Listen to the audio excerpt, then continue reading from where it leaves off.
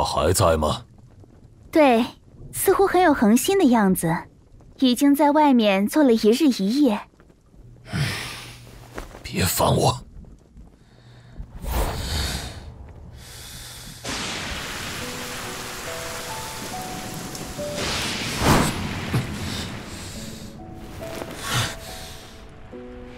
真让人烦躁。啊！叫你滚你就滚得远一点死缠烂打对我是没用的。叫我再行西天之路，不要说笑了。大法师，大家都说奇经落入帝释天手里，会发生很坏的事。那又怎样？和我没有关系。大法师，小雨是你带回来的，怎会没关系？从前的事我已经忘得一干二净，你也别再提了。告诉你，我现在生活过得无忧无虑，可不想再惹什么麻烦。你马上就离开长安城，走得越远越好。大法师，你对别人的生死一点也不在乎吗？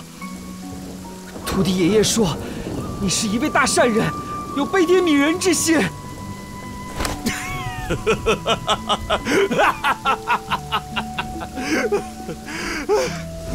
悲天悯人之心吗？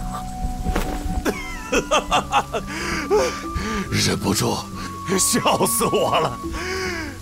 当日那个唐三藏已经死了，你明不明白？在这个残酷的世界，别抱着天真的想法。就凭你和我，是不可能归还奇经的。把这件事忘掉，不要做梦了。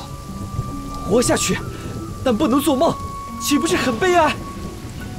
大法师，不也曾经一样做过梦吗？为了心目中的目标，不惜付出任何代价，一往无前。这个想法，大法师也有过吧？否则不可能完成西天取经这件难事。那时候，你有认为是不可能吗？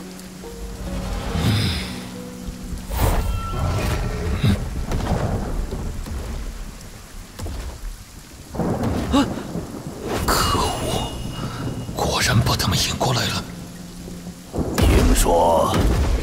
已经在一头狼妖手上，大家都想第一个找到它，功劳可不小呢。对了，你们有见过吗？嗯，看，就在这里吗？都说嘛，我的爱犬黑獒，气味在千里之外都可以嗅到。他带我到长安城，果然错不了。大法师，他是谁？紫仙金刚是帝释天座下八大金刚之一，是天宫里的高级位大神，你是打不过他的。嗯，那个不是唐三藏大法师吗？你也来凑热闹？让我看看，狼妖身上是否带着奇经呢？次看来是赌对了，红杀！还不给我把奇经抢过来！遵命。这个人好快，几乎被砍掉双脚。啊！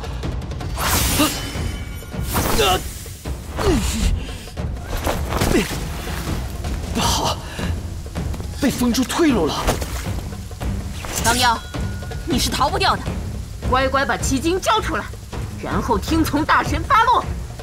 只要我还有一口气，就不会把奇经交给你们。大法师，救我啊！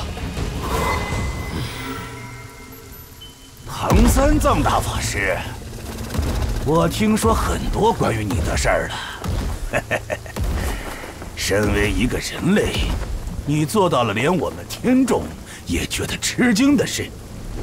完成了取西经之伟大任务后，获封为旃檀功德佛，而且得到了一座金山作为赏赐。哼，这十多年过得怎样啊？很好。这就是了。从来没有一个人类能够得到帝释天，以及天界诸神如此厚重的眷顾，真的是非常难得。你要懂得知足，感恩呐。一众大神对我的大恩大德，我绝不敢忘。嗯，很好，很好。既然大法师懂得分寸，但我还是得多提醒一句：大法师，把奇经带回中土后，你已无价值。一个聪明人，就应该安安乐乐的享福才对，不要管自己能力范围之外的事啊。多谢大师的教导。哼，既然知道，还不回去？大法师，不要走！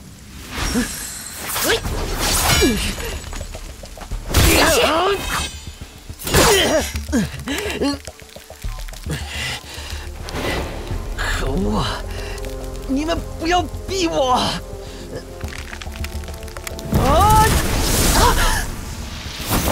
着火了！好热！啊！我手上有火，是兽大人的龙魂在帮助我。啊！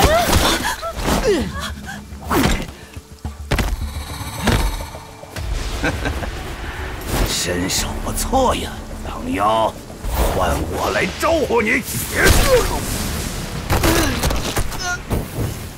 走。呃。要由我出手收服一头狼妖，也未免太小题大做了。嗯，不过夺取奇经并非等闲之事。哎，紫光转轮印，本金刚也不得不出手了。来来来，让我快快了结。